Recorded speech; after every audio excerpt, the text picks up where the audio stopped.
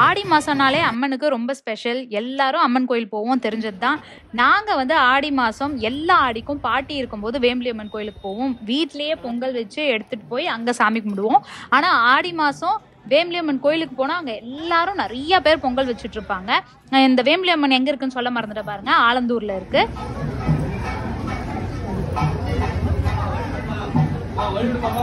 Covid முடிஞ்சு கும்பாபிஷேகம் முடிஞ்சு இதுதான் முதல் தீமிதி திருவிழா இங்க நடக்க போகுது. ஸோ இந்த வருஷம் ரொம்ப சிறப்பா நடக்கும் அப்படின்னு நினைக்கிறேன்.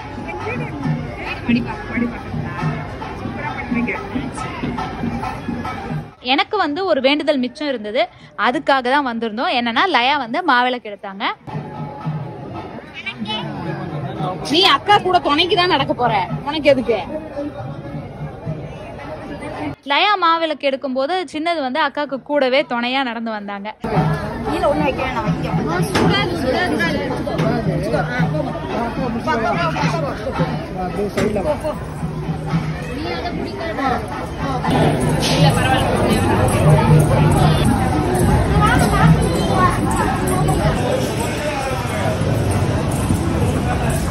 இங்க நிறைய வேண்டுதல் செலுத்துவாங்க.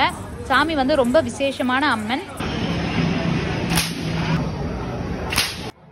எத்தனை பேருக்கு இந்த கோயிலை தெரியும் தெரியல. உங்களுக்குலாம் தெரிஞ்சிருந்தா மறக்காம கமெண்ட் பண்ணுங்க.